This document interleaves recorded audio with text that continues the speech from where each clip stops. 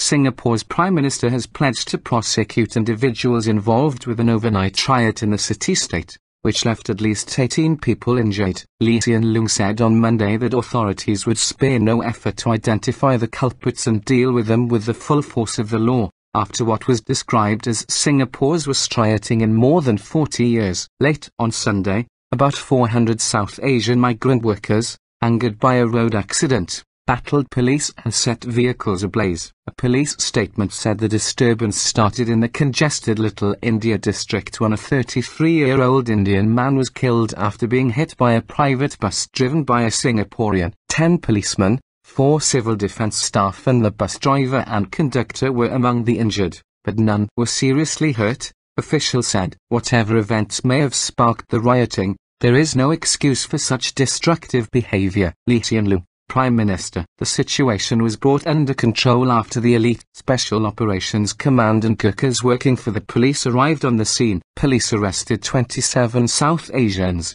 some of whom hurled bottles and other projectiles at authorities who tried to calm the scene, said Police Commissioner Ng Joo Channel News Asia showed images of burning vehicles, a police car flipped on its side and people attacking the windshield of a bus with sticks and garbage bins. Whatever events may have sparked the rioting, there is no excuse for such violent, destructive, and criminal behavior. Lee wrote in a statement on his Facebook page. The violence prompted debate among Singaporeans on social media about issues of overcrowding and the increase of migrant workers hired for Singapore's construction sector and menial jobs. Little India is an area popular among Indian, Bangladeshi, Pakistani, Sri Lankan and Nepali expatriates. It has scores of restaurants, grocery shops and a mall selling food and other items for people from those countries. On Sundays, the area is especially crowded with South Asian workers. Singapore is an orderly and modern city-state known for strict punishments and generally law-abiding citizens. Anyone who is found to be armed in a riot or using objects as weapons that can cause death could face up to 10 years in jail,